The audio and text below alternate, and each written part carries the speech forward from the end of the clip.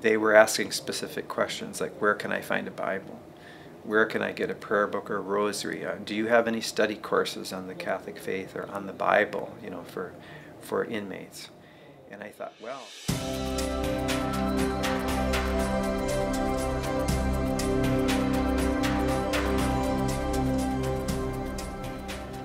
Our system is about punishment. Restorative justice is about healing, repairing the harm for everybody. The story of uh, how the, this ministry was founded really began with an inmate. I was corresponding with him, and um, he was so instructive to me about what his needs were spiritually. And I didn't find much that was available within the Catholic community to respond to those, those needs. And that's when the idea of starting a ministry began. In 1998, I was uh, detained by the uh, Immigration and Customs Enforcement, now called by ICE. And um, I was sent to a detention center in San Pedro, California. In that place, I witnessed the pain of the women when they were going to be deported.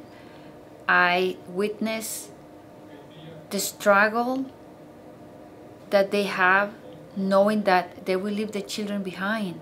I, I don't know what the population for California is right now, but it was at one time 160,000 inmates, and it's more than that now. So, so that's a real challenge. So it's just the financial challenge of trying to serve that many people all at once. We did our math, and um, we had reached the point of serving 43 states.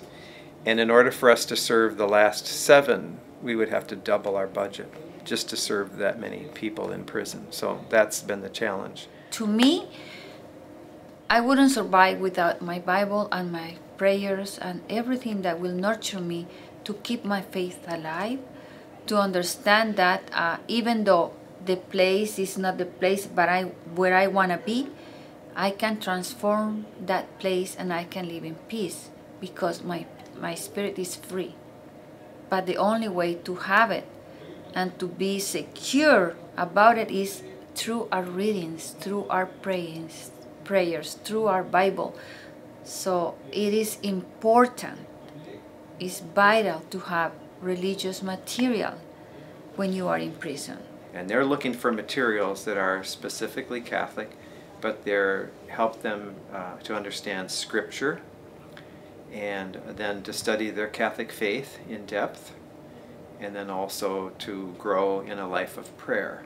It's not about giving time when you commit a crime, it's about repairing the harm to the victim, uh, healing to all the, the community that is wounded, and also we need to rehabilitate the person that committed the crime involves all of us together.